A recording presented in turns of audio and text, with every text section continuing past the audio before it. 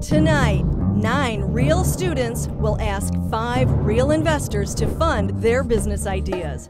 For the past nine weeks, Hatchery students have been working with their mentors, designing presentations to convince the Falcon investors to hatch their dream businesses. You'll meet the students soon, but first, let's welcome the Falcon investors to the stage.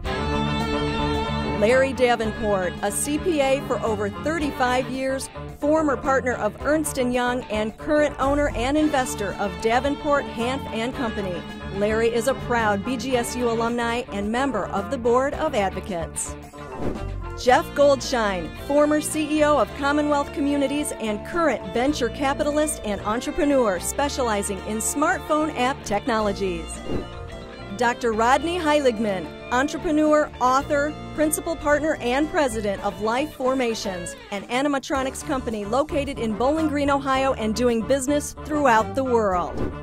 Earl A. Malm II, retired president and CEO of Highmark Capital Management in San Francisco, California, past chairman of Value Click, an online advertising company, and proud BG alum, graduating in 1971 and Brian Sokol, inventor, holder of six patents, and founder of the Idea Institute, and expert in creating and commercializing new products. Currently, Brian is CEO of Oasis Consumer Healthcare.